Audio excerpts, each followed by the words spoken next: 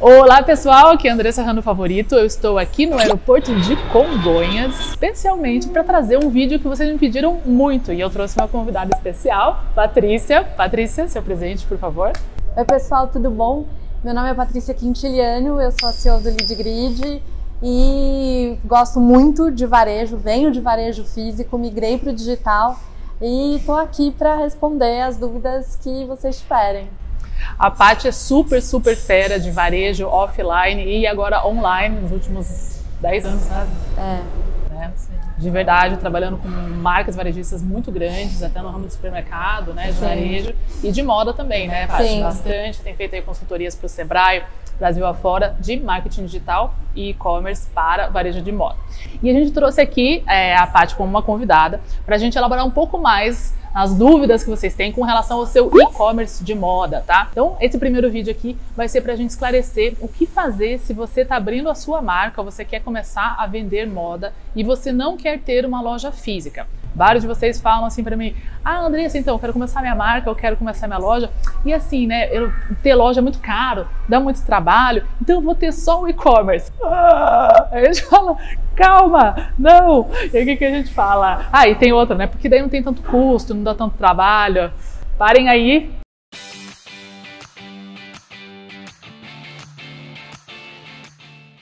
Patrícia, o que você acha disso? Bom, moçada, primeiro é que sim, e-commerce dá bastante trabalho. E tem uma outra coisa quando a gente fala principalmente de custos. Todos os custos, a maior parte dos custos em e-commerce é variável. É, quando você fala de loja física, tem boa parte dos custos que são fixos, ou seja, o começo pode ser um pouco mais complicado, mas à medida que você vai crescendo, que você vai aumentando o teu faturamento, esses custos eles vão ficando proporcionalmente menores. No e-commerce não é, quando você tem custos variáveis, eles vão crescendo junto com o crescimento da tua loja. Isso significa que eles não dão, que o e-commerce não dá certo? Não, muito pelo contrário. Mas tem um jeito que a gente sugere para você começar. E esse jeito é, primeiro você precisa ter audiência, você tem que ter público, é, você já tem que vender antes. E aí depois, quando você sentir a necessidade operacional de ir para um e-commerce, esse sim seria o passo que, que eu quero dizer com isso?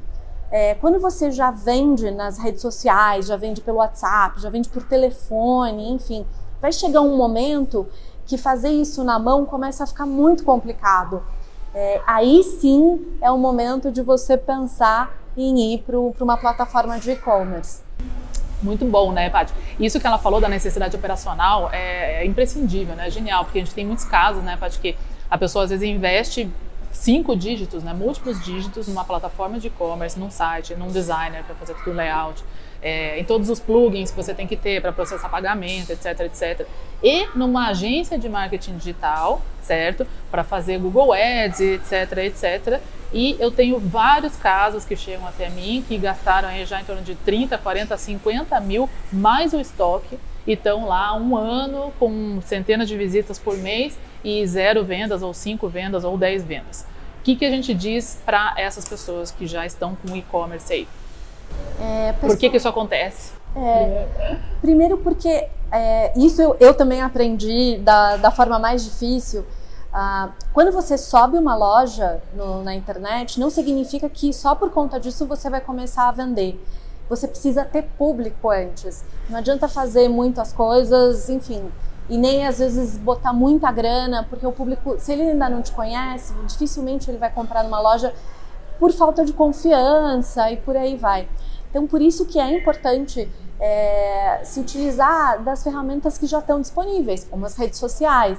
Quando a gente fala de plataforma, não precisa começar pela mais cara tem tantas opções que às vezes são inclusive gratuitas.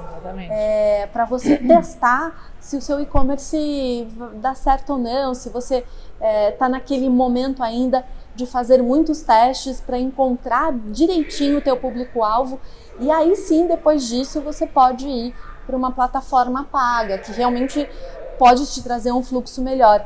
Mas antes de partir para esse estágio, vale a pena começar devagarzinho. É, esse é um dos pontos principais, assim, que a gente debate muito até no, nos meus cursos, no Moda de Sucesso Pro, a gente tem vários e-commerces lá dentro, alguns muito bem sucedidos e outros não, e a análise que a gente sempre percebe essa questão do fluxo é muito, muito importante. Então, quem está mais estabelecido no mercado vai ter um volume de visitas muito alto.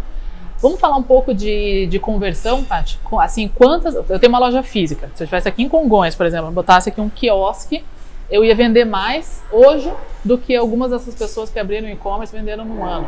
Porque a gente tem aqui um fluxo de pessoas passando na frente, vendo seus produtos, olhando para sua cara e dando cartão na tua mão. Como que é essa conversão do e-commerce? Quantas pessoas eu preciso atrair? Qual é o percentual? Você tem algumas ferramentas né, para isso? Vamos falar um pouco de, de conversão. É, a taxa média de mercado fica aí entre meio e 1%, né? Ou seja, de 100 pessoas que passam pela tua loja, uma é que realmente vai comprar, uma. Existem e-commerce... Num bom, né? Num bom. Isso bom, 1% é bom. É, eu, eu já encontrei e-commerces, por exemplo, com 13,5% de taxa de conversão. Então, é, e aí eu posso até contar um pouquinho para vocês como é que era esse e-commerce, né? Ele, a, a, o principal canal de, de tráfego eram as influenciadoras de, de Instagram, e, enfim, Instagram influenciadoras, mas era um e-commerce também com outras características, só isso não basta. Vendia um único tipo de produto, é, tinha precificação única, então todos os itens custam ainda R$ 99,90. Quando vai para promoção, vai para R$ 59,90. Então, assim, é fácil, exatamente. É mais uma é uma, é, é, um, é uma forma de você não ter atrito né, com o consumidor. Tem novidade todos os dias, absolutamente todos os dias. Tem coisas novas no site, tem coisas novas no, no Insta. E o outro ponto é a escassez nesse uhum. negócio. Então, o que acontece? Ela compra lotes de mercadorias e não consegue fazer a reposição. Por isso que ela tem esse preço. Por isso que ela tem esse preço, por isso que ela trabalha com escassez. Então, o que, que acontece? Toda vez que ela coloca o, o, o produto dela no, em algum, pra, na mão de alguma influenciadora, uh, todo mundo já sabe que o preço é aquele fixado e que se não comprar naquele momento, acabou, não vai ter mais. Então tem ali um, um, mix de coisas bacanas que eventualmente a gente pode conseguir reproduzir no nosso e-commerce, né? São, são elementos bem, bem interessantes. Como é que chega nisso? Teste. É, esse é um ponto também extremamente importante em qualquer negócio, principalmente nos digitais. Você precisa testar algo novo toda semana. Uhum. Quanto mais testes você faz, maior a probabilidade de algum deles dar certo. Então tem que sim testar coisas novas toda semana. Teste de forma de venda, né? Porque a gente trabalha muito com o produto. Então, isso que você falou é uma ideia, né? De um nicho, na verdade. Então ela pegou um nicho que é preço, tipo de produto, deve ser também, e usou o lance da escassez. Então essa é a estratégia de produto dela. Isso. Produto escasso. Mas a gente tem N e-commerce super bem sucedidos, com um mix de produtos largo, Isso. com várias faixas de preço, trabalham várias, várias formas assim. Bom, então a gente vai encerrar esse vídeo aqui, a gente vai continuar a nossa série, porque tem mais. Agora a gente vai falar então como que a gente começa nas redes sociais para evoluir para o e-commerce. Então, aguarde o próximo vídeo da próxima semana. Eu e a Patrícia estamos aqui em Congonhas, especialmente para você ter um e-commerce de moda de sucesso. Obrigada, Patrícia. Obrigada eu, Andressa. E até semana que vem.